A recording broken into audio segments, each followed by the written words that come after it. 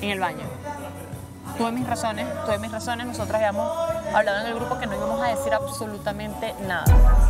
No íbamos a decir que queríamos. ¿Qué onda amigos de YouTube? Sean bienvenidos a otro nuevo video. Pues aquí tenemos a Aleska pidiéndole perdón a Clovis después de haberle mentido en el baño sobre eh, la nominación, que le dijo que no lo había nominado. Y comenta Aleska que simplemente habían acordado en el grupo que no que nominarían de esa manera y no dirían nada, porque obviamente echaría a perder la estrategia de grupo.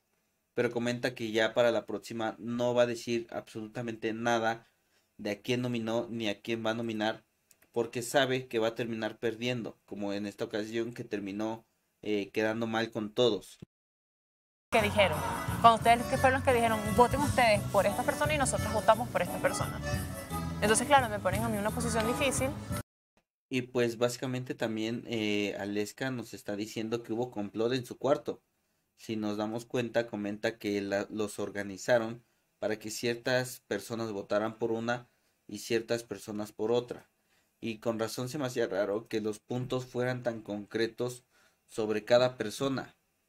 Y pues es porque si hubo complot, ya nos lo confesó aquí eh, Aleska.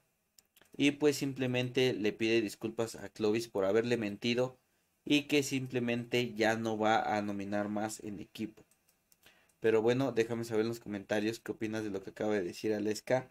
Sin más, no olvides suscribirte al canal, dejar tu like en este video y compartirlo con todos tus amigos.